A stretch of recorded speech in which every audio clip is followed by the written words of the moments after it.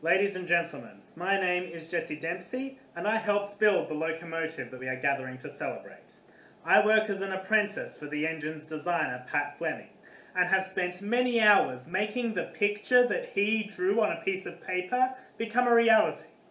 The steam locomotive is, as they say, the closest thing that exists to something man-made that lives and breathes, and so I am very proud to have been able to bring one of these beautiful machines to life.